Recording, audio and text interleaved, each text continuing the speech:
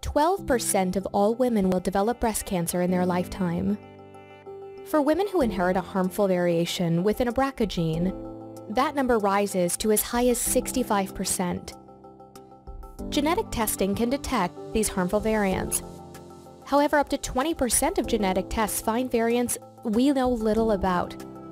Attempts to classify these variants have been hindered because there was no single comprehensive source for BRCA information.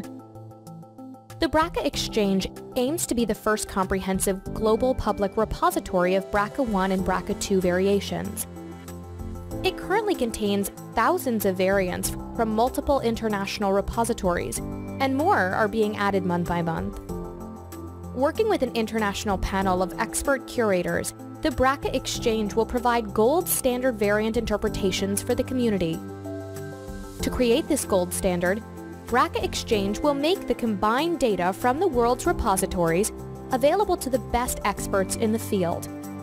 This will lead to an enhanced understanding of BRCA variants, leading to better information for patients and their families.